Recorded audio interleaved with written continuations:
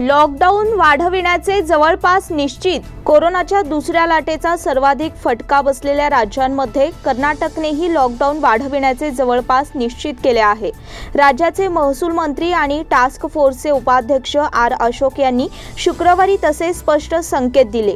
मंत्री अशोक हे राज्य आपत्ती निवारण प्राधिकरणाचे उपाध्यक्ष आहेत. त्यांनी सांगितले की लॉकडाऊन आणखी काही दिवस कायम ठेवणे हिताचे ठरेल असे बेंगळूरचा एक नागरिक म्हणून माझे वैयक्तिक मत आहे. कडक निर्बंध लावण्यात आल्यानंतर बेंगळुरात रुग्णांच्या संख्येत घट झाली असली तरी इतर काही भागात बाधितांची संख्या वाढत आहे.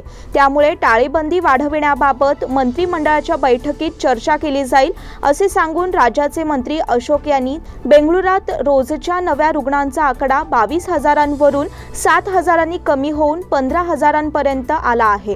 काही ठिकाणी अंशतः लॉकडाऊन आणि काही ठिकाणी पूर्ण लॉकडाऊनमुळे हे शक्य झाले आहे.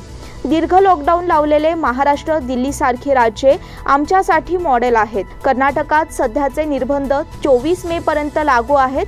लॉकडाऊन संपायला तीन दिवस बाकी असताना अंतिम निर्णय मुख्यमंत्री बी. एस. येडियुरप्पा घेतील ते आढावा बैठक घेतील त्यात आम्ही आमची मते मांडू. त्या दिवशीची रुग्णसंख्या पाहिली जाईल ती कमी झाली आहे की जास्त यानुसार निर्णय होईल असेही अशोक यांनी नमूद केले.